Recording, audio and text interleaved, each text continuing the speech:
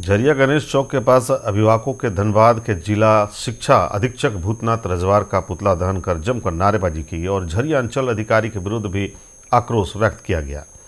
अभिभावकों के ने आक्रोश में कहा कि हम लोगों के पास बीपीएल कार्ड भी है यह सरकार न्यूनतम आय के रूप में मानती है, बावजूद जिला शिक्षा अधीक्षक बच्चों के बीपीएल नामांकन से बहत्तर हज़ार से नीचे का आय प्रमाण पत्र मांग रही है, जिसे अंचल अधिकारी नहीं निर्गत कर रहे हैं और रांची में ऐसा कोई प्रावधान लागू नहीं किया गया है कि एक ही राज्य में अलग अलग नियम है। एक अजीब विनमना है, वहीं पूर्व पार्षद अनूप कुमार साव ने कहा कि R T R T E act में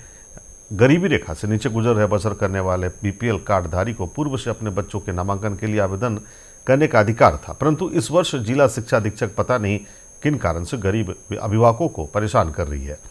ऐसा प्रतीत होता है कि पूर्व वर्ष के भांति इस वर्ष भी भ्रष्टाचार का खेल होगा, जिसका हम लोग पुरजोर विरोध करते हैं और साथ ही यह मांग करते हैं कि दो मार्च का निर्धारण आवेदन का की अंतिम तिथि को बढ़ाया जाए।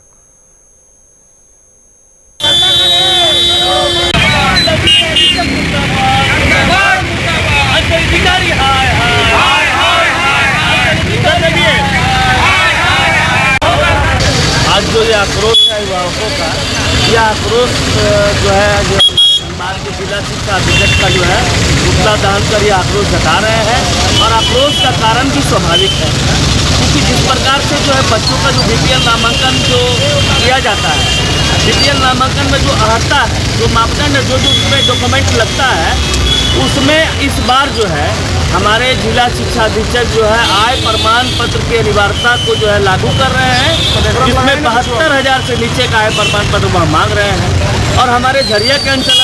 जो है, बहत्तर हज़ार का आय प्रमाण पत्र जो है, निर्गत ही नहीं कर रहे हैं। अब जब लोगों का बहत्तर हज़ार से कम का आय प्रमाण पत्र नहीं बनेगा तो इससे निश्चित रूप से वो अपना बच्चे को जो है, नामांकन में जो विफल हो जाएँगे। तो इस प्रकार से साजिश कर रहे हैं, क्योंकि आर एक्ट जो है, इसमें कहीं से आय प्रमाण पत्र की अनिवार्यता नहीं है। इसमें लिखा हुआ है स्पष्ट रूप से आर एक्ट में